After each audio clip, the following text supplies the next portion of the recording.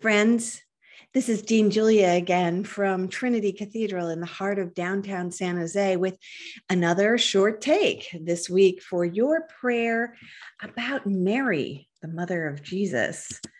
This week, this coming week, the Episcopal Church celebrates the feast of St. Mary.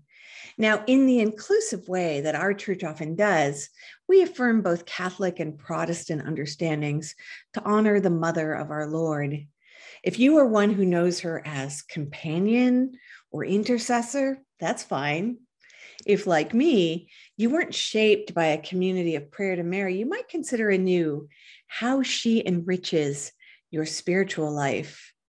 A friend recently reminded me that every celebration of St. Mary is a celebration of the incarnation. That is, we would not have God with us in human form if Jesus did not have a mother.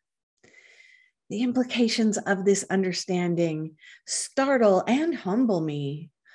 All of the labor of mothering, the tenderness, the worry, the fear, sorrow, and joy of Mary are how Jesus himself learned of the human condition.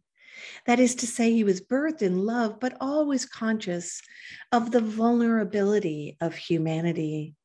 Our very vulnerability is thereby made holy. Our relationships with God do not depend on our strength, our success, or even our faithful response to a hard call like the one the angel Gabriel um, gave to Mary, and she answered.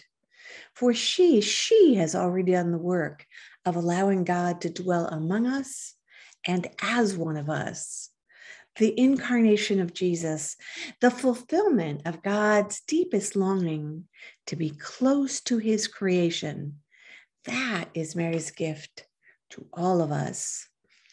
I'll spend this coming week giving thanks for the blessings of a mother